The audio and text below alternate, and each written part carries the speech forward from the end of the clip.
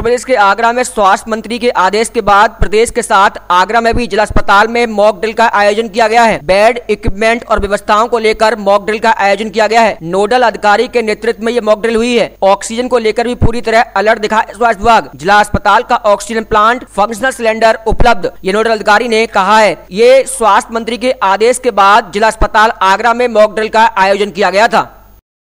पे व्यवस्थाएँ खास तौर से कि क्या व्यवस्थाएँ हैं बेड अवेलेबल हैं सारे वेंटिलेटर्स और सारी सुविधाएँ अवेलेबल हैं।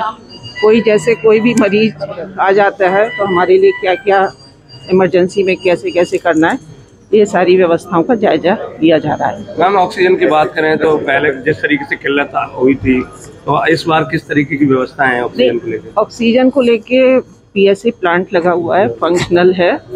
और बेड साइड सभी जो है ऑक्सीजन अवेलेबल वहाँ से आ रही है बेड साइड मैम इस बार क्या क्या व्यवस्थाएँ की गई है? बेडों की बात की जाए वेंटिलेटरों की बात की जाए तो क्या क्या व्यवस्था है इस बार? वेंटिलेटर वगैरह सब एक्टिव हैं सब फंक्शनल हैं अभी जैसा देखा जा रहा है। और प्लांट भी है उसके अलावा जो है ऑक्सीजन सिलेंडर भी हैं।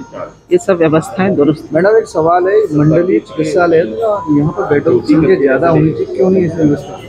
नहीं यहाँ पे 40 बेड हैं बाकी फेरी फेरी में सीएससी पे बाकी 30 30 हैं और मेडिकल कॉलेज में 385 बेड इस, इस वार्ड में तो 20 बेड हैं। नहीं 20 इसमें 40 है टोटल बीस उधर एस डी एच डी तो इसमें